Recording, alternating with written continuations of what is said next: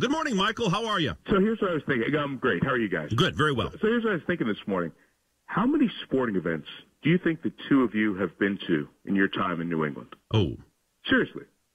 Uh, a few. Probably, yeah, probably not as much as you think. Just because based on this show, I can't be at Fenway Park at eleven o'clock at night in a in a two-two ball game, but but quite a few. Yeah, but but over the over the years. Oh yeah, I mean, you you two have been to thousands of New England sporting events. yeah, we're old. Yeah, so We're old. that was the point I was trying to make. Yeah.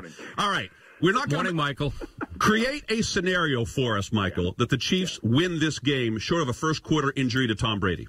Um, hard to, hard to, because it's not a team that runs it very well. Uh, and look, eh, people have moved the ball on the Patriots. I think the one thing that is as a bit of misnomer nationally, at least, is the Patriots have the worst defense because they give up the most yards. You start looking at the points; the points are in the middle of the pack. That has been something we've seen with Belichick teams a, little more here over the last few years. Some a function of offense getting out to big leads. So I think because of that, that's the only way you can do is throw it against them. Now, if, the, if there is an injury or two in the secondary, and Palko gets a couple of seconds to throw the ball, there are receivers who can make plays, who can just go up and do what Calvin Johnson's been doing, just catch jump balls.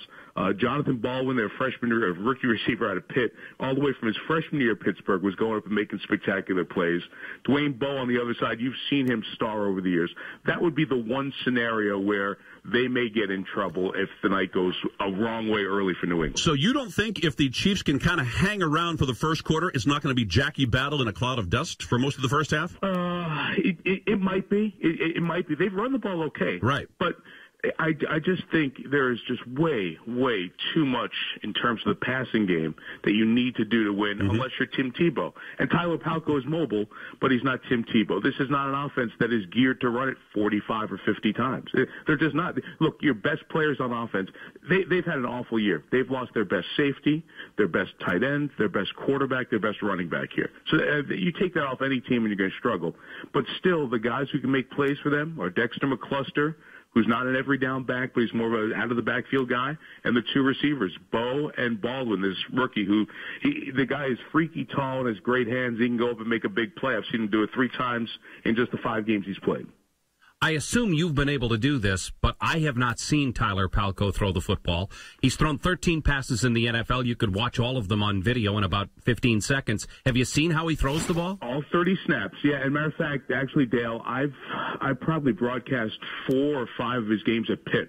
So I, I, I've seen the kid play for a while and know him. Lefty, fiery, dad a high school coach, uh, one of those kids who, you know, from early on was born to be a, a quarter, a football player and bred to be a quarterback. So the game, you know, guys get out there in their first starts and they can't understand what's going on defensively in terms of reading defenses. This guy can. Uh, just in talking with him last night, the language he uses, the level of understanding he has of offense is a lot higher than a guy rolling out there for his first start. So at least there's knowledge. It's just the experience. He's only taken 30 snaps in two years. He couldn't make it in the CFL. He couldn't make it in the UFL. He's been cut by multiple NFL teams. So obviously the talent hasn't been there. But it's the first time he's had a couple of years in a program, a couple of years to be a backup. And I think you'll see him out of the pocket rolling around. And because he's a lefty, he'll be a little bit a little bit different looking, I think, than you see with other quarterbacks and with the Chiefs that you've seen this past year. Sports Radio WEEI, now on 93.7 FM in Boston.